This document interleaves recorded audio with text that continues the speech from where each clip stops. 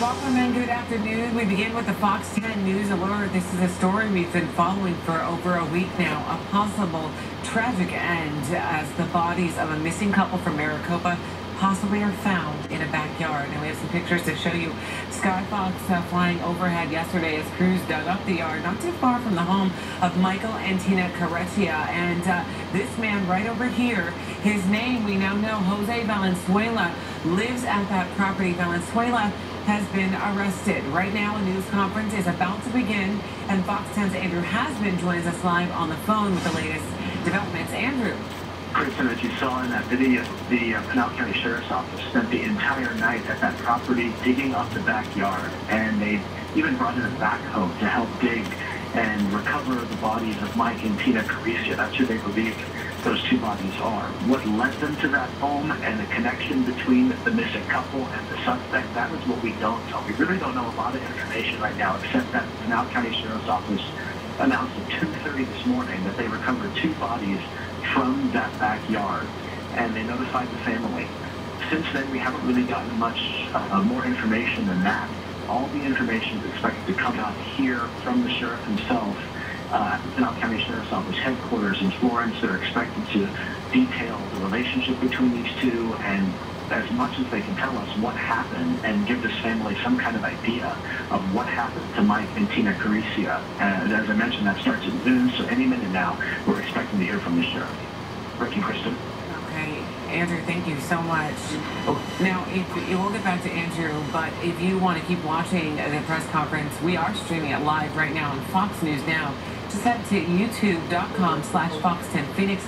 Stick with Fox 10 for continuing coverage of this developing story. Well, that news conference on the missing Maricopa couple is now underway. Here's Sheriff Paul Babeu of Pinal County. Let's listen. Valenzuela, who is in our jail right next door, uh, who is being charged with first-degree murder times two, two counts of that. Uh, he's being held on a $2 million cash bond. So they actually have to come up with $2 million in order for the release.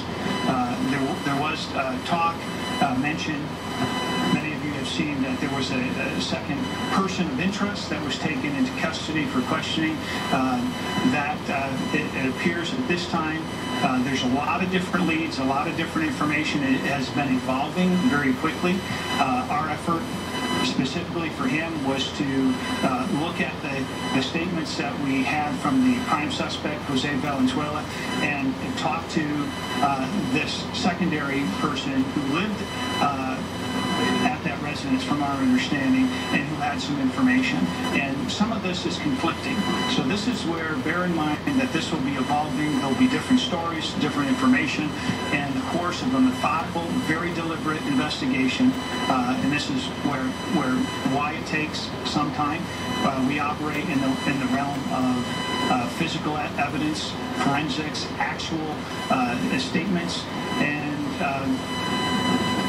that's law enforcement. We have to keep in mind we're building a case that the county attorney can build not and prosecute not just on reasonable suspicion or probable cause, which is when we make an arrest, but beyond a reasonable doubt. So we want to ensure uh, for the victims, for both Mike and Tina, for their surviving family, they are also victims, uh, that justice is served here. Um, let me back up just a little bit. Uh, we, we, saw that a car was found in the desert. Uh, somebody had already asked me, um, you know, hey, it, did it look like foul play, you know, right from the beginning? Uh, when you have cases like this and missing persons, most of the time they are truly missing persons. And uh, I, as a patrol officer, have countless times been called by, by parents and my son or my daughter, or this person is missing, and almost always that person ends up coming back. And there's either miscommunication or there was strife somewhere, and it ends up getting resolved in the positive. This is a tragic case uh, where both of these individuals, Mike and Tina, uh, were murdered. And uh, we do have um, the, the murder weapon, which is a 22 uh, caliber revolver uh, that was used. What happened, and you'll be given a, a, a form that's redacted if you don't already have that. Uh, and basically, uh, yesterday, this is where we were building up to this point, following up with an additional interview with Jose Valenzuela. And uh, he called up prior to the interview, talked to one of my uh, uh, investigators investigators and said, hey, I'm not coming in. And the, the deputy had pressed him uh, further for information, and essentially he confessed.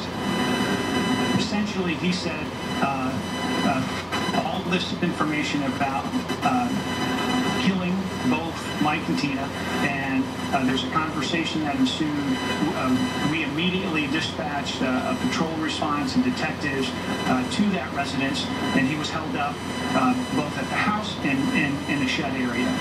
We had uh, one of our investigators had talked with him, got further information to determine that uh, that the decedents were buried on that property, very close to the house, almost within feet of the, the residence. And he was he had a weapon on him at the time, the actual murder weapon, and uh, he was taken into custody with that incident. That's going to prove to be very helpful to our case, we believe, uh, rather than uh, many times uh, cases like this uh, the suspect may end up getting in a, a, shootout or some act of violence or against themselves. Right, Sheriff Paul Van of Pinal County, uh, in, in, a news conference concerning the missing couple in uh, of Maricopa, confirming that, that indeed the bodies that were exhumed or